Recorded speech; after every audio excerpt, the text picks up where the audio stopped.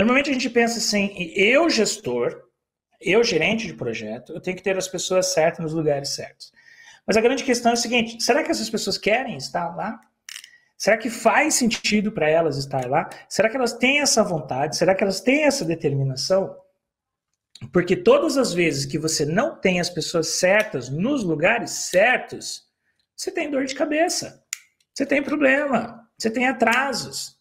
É difícil você promover a motivação para essa galera vir trabalhar com você, para a galera estar tá junto, estar tá ali.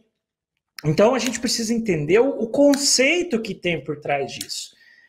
Na maioria das vezes, a gente, quando a gente fala em pessoas certas nos lugares certos, a gente olha mais as habilidades técnicas, certo? Então eu vou pegar aqui o Mikhail, que está com a gente. Pô, o Mikhail é um cara fera em finanças, então eu trago ele para o projeto para a área de finanças. A Virgínia é uma pessoa fera em produção, então a Virgínia vai lá em pessoal de produção. Mas dificilmente a gente avalia as soft skills, as competências comportamentais, as habilidades comportamentais da pessoa. E é isso que faz a diferença. Galera, é aqui que está o segredo do sucesso. No sentido de promover a mudança, de criar um elo de confiança, de relacionamento. Então você pode ter a melhor pessoa mais técnica do mundo, aquele ninja naquele assunto, mas que, por exemplo, ele não tem um bom relacionamento interpessoal. Isso pode acontecer. E aí não tem como mesmo você trazer esse cara para você. Dificilmente ele vai te apoiar, vai comprar a tua ideia, vai aceitar uma crítica, né, um feedback, ali, às vezes um pouco mais pesado, do gerente de projetos. Então você tem que ter essa leitura, certo? Uma forma, então, de você fazer com que as pessoas apoiem o teu projeto de melhoria, certo?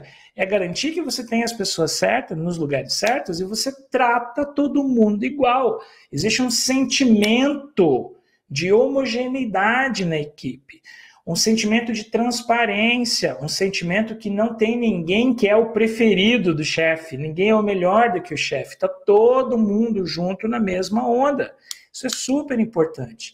Quando a equipe tem essa percepção que as pessoas certas estão nos lugares certos, fazendo o seu papel e que todo mundo tem o mesmo tratamento sem nenhum favoritismo, Aí você pode falar verdadeiramente que você tem as pessoas certas nos lugares certos.